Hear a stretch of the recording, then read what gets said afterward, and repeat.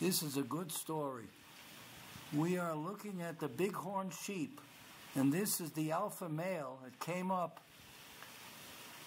The photo you saw before was what seems clearly seems to be the female, and this guy came up and sort of nudged her away.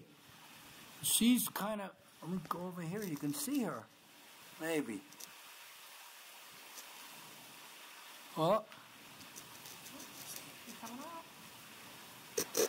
Gotta find it because the sun is reflecting.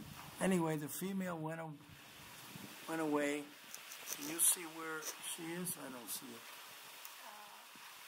Oh, that's it. I think that's it in the middle, right? Mm-hmm. That's her right there. She's there, and she went away. She wasn't that interested, and he's coming around again. This is nature in the raw. First, he came up to her and nuzzled her, and she left. Now he's chasing her off again. And he is pursuing her. That's just the way it goes. There's two more on the left. Aren't those two more? Mm-hmm. Over there. That's a lot for this video.